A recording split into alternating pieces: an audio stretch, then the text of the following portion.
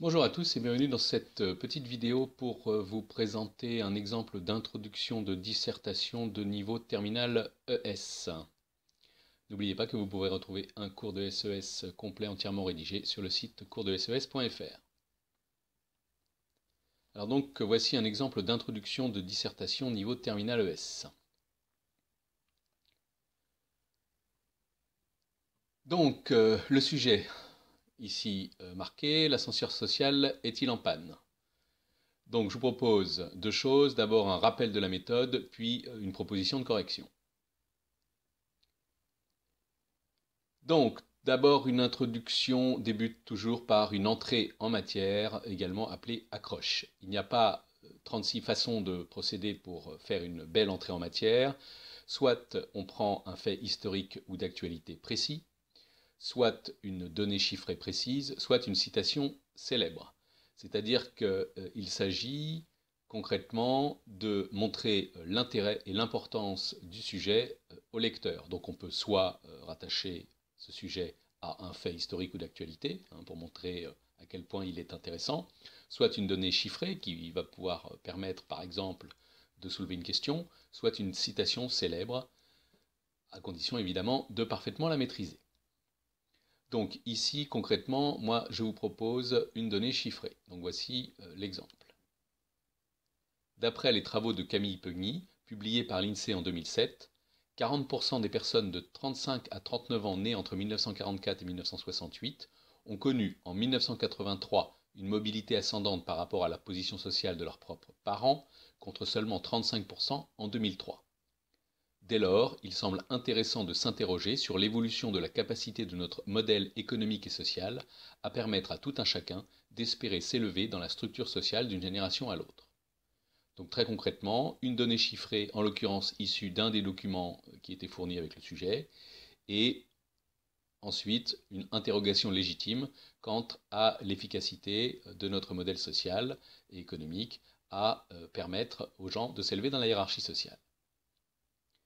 La deuxième partie d'une introduction, c'est donc la présentation du sujet.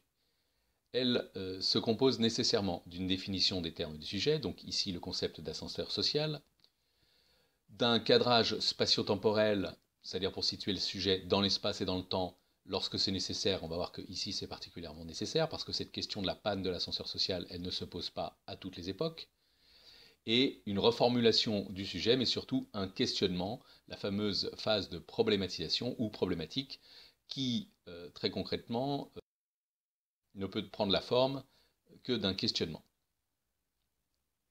Donc voici la proposition de correction.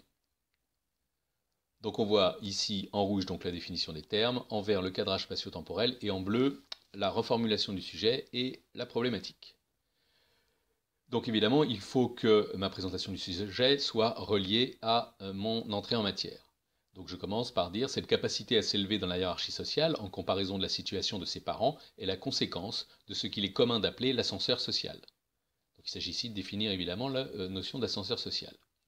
En effet, le concept d'ascenseur social désigne l'ensemble des moyens susceptibles de permettre à des personnes issues d'un milieu social donné d'accéder à un autre milieu plus élevé socialement. Je passe maintenant au cadrage spatio-temporel. De ce point de vue, il est courant en France de comparer deux périodes historiques. D'une part, la période de forte croissance économique des Trente Glorieuses, qui aurait été marquée par une forte mobilité sociale ascendante, et d'autre part, la période que nous connaissons depuis la fin des années 1970, qui serait caractérisée par une panne de l'ascenseur social. Donc je le formule euh, de cette manière et euh, de manière pas trop affirmative puisque euh, pour l'instant il s'agit simplement d'hypothèses. Ensuite, je reformule le sujet et je pose le questionnement. Donc, pour reformuler le sujet, euh, c'est très simple. Il suffit que je pose la question qu'en est-il réellement? Est-ce que finalement, on est effectivement passé de cette période d'ascenseur social efficace à un ascenseur social qui serait en panne? Et ensuite, je vais poser donc les questions de ma problématique. Et euh, là encore, il n'y a qu'une seule manière de procéder avec efficacité et simplicité, c'est de poser les questions auxquelles je vais répondre dans chacune de mes grandes parties de mon plan. Donc, on verra tout à l'heure évidemment quel est le plan, hein, mais je vais commencer d'abord par défendre l'idée qu'effectivement il y a un ralentissement par rapport à la fin des Trente Glorieuses. Donc je pose la question. Dans quelle mesure est-il possible de mettre en évidence un coup d'arrêt ou, à tout le moins, un ralentissement significatif de la mobilité sociale ascendante depuis la fin des Trente Glorieuses? Puis ensuite, je vais poser la question qui correspond à mon grand 2.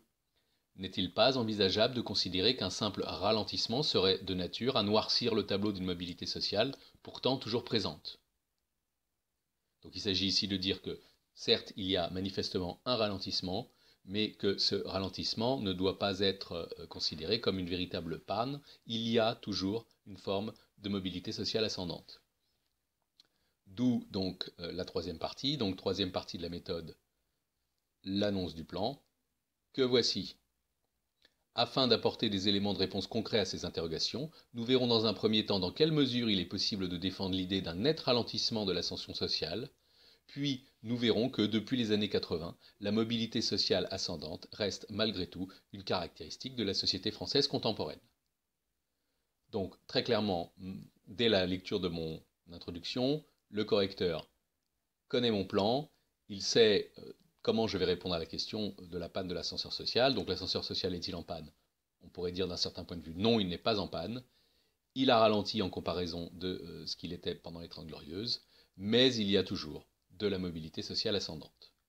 Voilà, il faut absolument procéder de cette manière, en particulier pour la question de l'accroche. Hein, données chiffrées précises, c'est souvent possible puisque vous avez généralement des données chiffrées qui sont fournies dans les documents. Et pour le questionnement, pour la phase de problématisation, simplement poser les grandes questions qui correspondent à votre plan. Puisque de toute façon, l'introduction, vous ne la ferez pas avant d'avoir au moins trouvé les grandes parties de votre plan. Voilà, merci et à bientôt j'espère.